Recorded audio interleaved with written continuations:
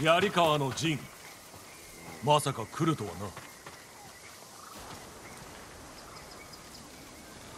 な。何があった？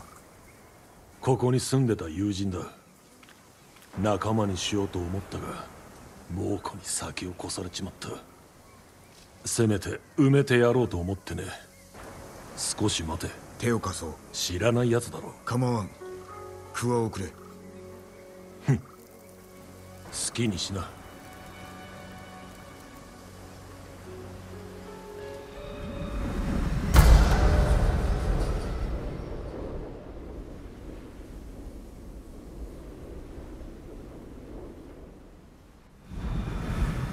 来世では幸せにな。仏教を知っておるのだな。ああ見くびるなよ。仲間に引き合わせるという話心を決めたか。さてね。毒はまだ回ってるんだよな。ああ。しかし大事ない。仲間のもとへ連れて行け。俺が皆を特進させよこりゃ参った。先は長いぞ。遅れるなようどこへ向かう？俺たちの隠れ家。かつては侍から。今は猛虎から守ってくれてる。侍を連れることに心がかりは？そりゃあるが。人手は多い方がいいだろう。隠れ家では気をつけな。堺の襲来以降侍の嫌われっぷりときたら蛇でも歯が立たないほどだ。堺の襲来だと？あの人斬りは島に秩序をもたらせると思い上がりやがった天かったかいい連中が大勢死んじまった。どちらにも火があったと聞くが。嘘ではないな。それが戦ってもんだ。この先に隠れ道があるんだ。猛虎。道が見つかった。あんたのお手並み拝見といこう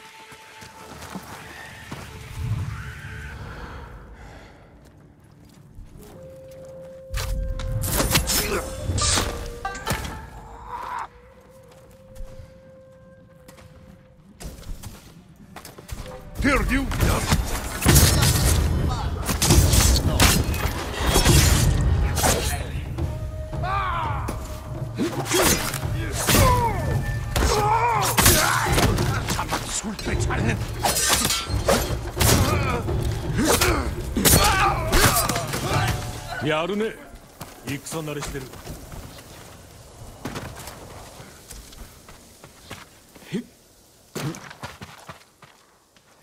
道が塞がれておる。不可の計らいだ。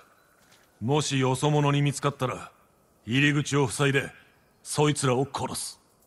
一人残らず。仲間の客には寛容であればよいが。楽しみにしておこう。他の入り口は？確か海辺に。だが幼い頃に使ってたもんだ。残ってるかな？行ってみよこやつは幾人を殺したのであろうな。息に渡った父の老頭。寝込みを襲われ喉を切られ血だまりの中で死んでおったぞ。う黙れ！ジンどうした？いや大鷹の声が聞こえた。心の内で聞こえるのか？ああ俺が図らずも頭に浮かべた言葉が大鷹の声で。そりゃ辛いな。この道武士では見つけられんわけだな。侍から免れた唯一の砦だぜ。猛虎も見つけられまい。渡れねえよ。常に道はある。お侍は言うことが違うね。よく滑る口だな。褒めてくれんな。やるな。俺にも一つくれ。これはな贈り物なのだ亡き友からの。悪いこと聞いた。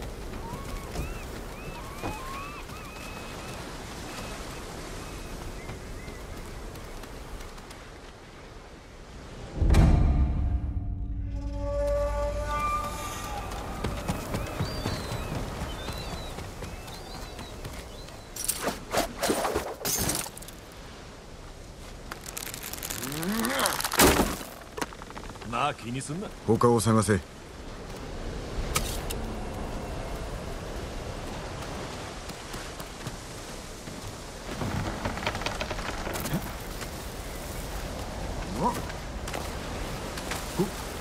侍見たことないぞお主も登ってこい。鮮や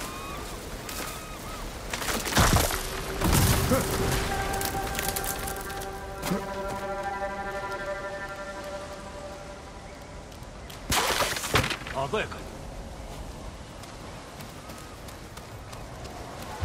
猛虎俺たちの船を狙ってる。友人か？友人とは呼ばないが仲間だ隠れろこれで4艘の船が沈められた。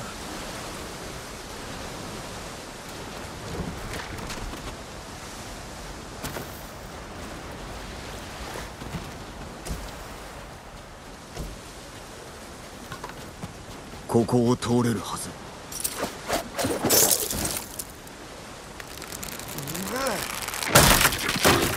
深とはどこであった？思いがけず酒井殿の宿でな堺砦か。ひどい飯だった。首はつながったまま帰れたが他の客は全滅だ。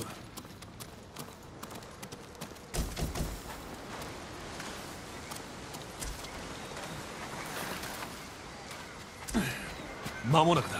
こやつは罪人の末と引き込むつもりだ。殺されるぞ愛しい父のように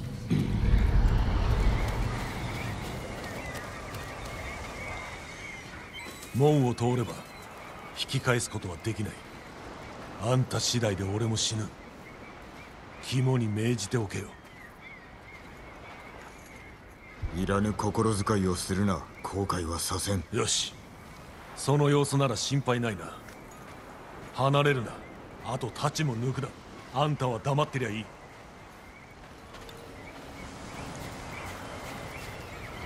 心しろ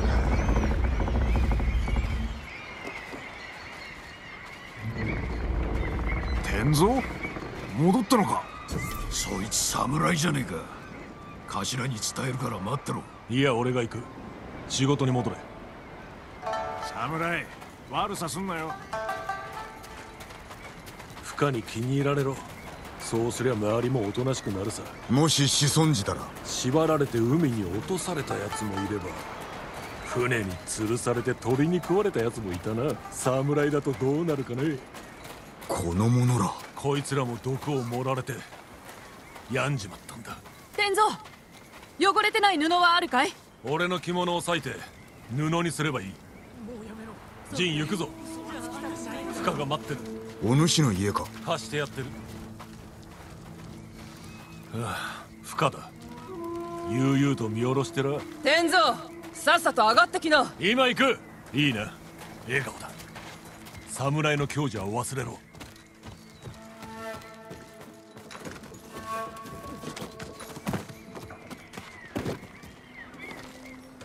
どういうつもりだ天蔵？なあ聞いてくれ。聞くとも。ほらなぜ侍なんかを私の家に連れたのか言い分けてみろ。戦える奴を探してただろ私らと共に戦えるものだ。その首が狙いなら党に取っておる。陣お前は黙ってろ。この侍の弁明楽しく聞けそうじゃないかもう子供は対馬にも襲来してきた。今大高を息で止めねばあやつの毒でさらに蹂躙されてしまう。共に大高を倒し故郷を守ろう。力を貸してくれぬか。天蔵お前の客だ。何とか言え。助けになるかまたは猛虎の槍に疲れるか。死んだとしても侍を殺したと自慢すりゃいいさ俺たちに失うものはない。よしよくわかった。お前船に酔うか？次の大風の時総がかりの船で猛虎の戦船を襲う。仲間が命を落とすだけだ。俺が船に乗り込み沈めてみせよ 天蔵こいつたわごとを抜かしてるぞいや一理ある。俺たちじゃ戦船に近づけないだろう。だが数日おきに島から出てる補給船ならその船を奪い戦船に乗り込めばよい。なるほど。うまくいくと思うならお前に任せる。男手が欲しい。陣も含めてな。いいだろう。補給船は島の北東に止まってる。崖に囲まれた入り江を探せ。そこで会おう不可恩に着る。足をすくわれないようにしな。